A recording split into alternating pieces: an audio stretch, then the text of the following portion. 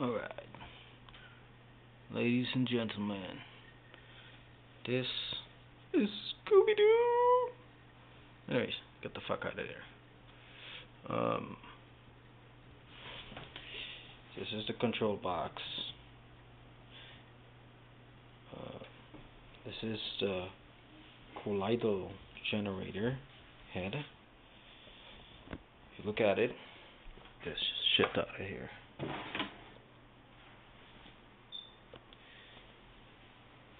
Now, as I was saying, so I built it like this. This is the emergency stop. When I when I press this button, the whole thing shuts down. So I turn it back on. This rod, this switch right here brings up the rod. If you notice, I'm gonna press. Look at the rod going up.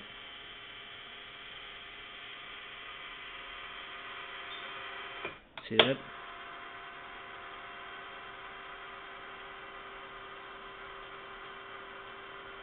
Yeah.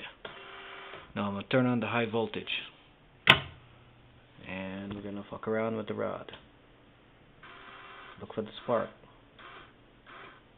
See that? Okay. You have to play with the spark until you get the right spark. There you go. Right now it is not automated. So I have to do it with my bare hands, watch it all the time. Eventually I'm going to make it automated like the old version. But it's looking good so far. So far so good. Look at that spark. Nice. This is the design. Now I'm going to show you inside. Screwdriver, screwdriver. Okay. We're going to stop this shit.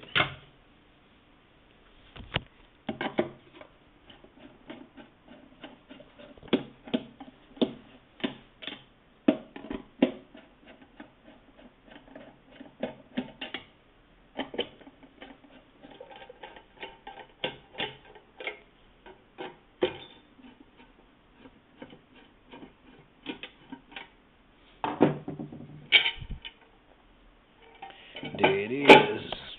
Alright. So, this is basically what it is. The rod.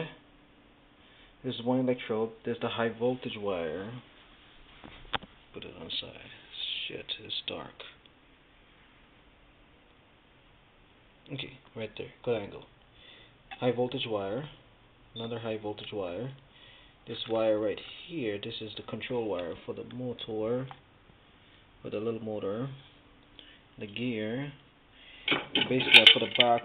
I put this thing over here to protect, so you won't get your sh the shit zapped out of you. Screw it back on.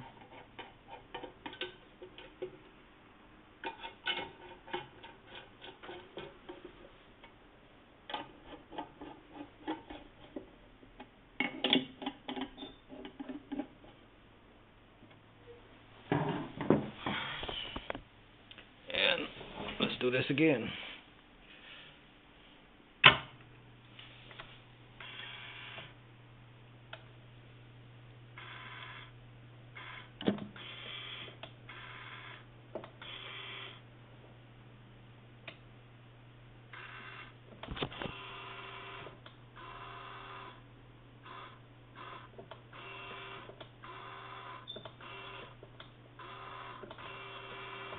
Gotta get the right spark. If it was automated, it, it would have catch it by itself.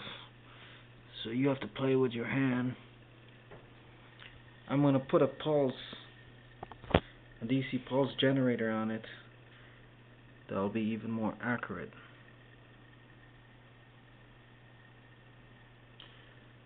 I'm thinking within two days I will have this much this is 200 milliliter, uh, actually 2000 milliliter.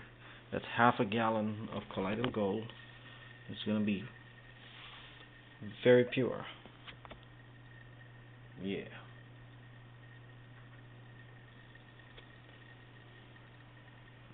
So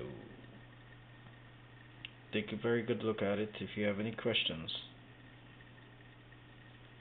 just ask. Thank you.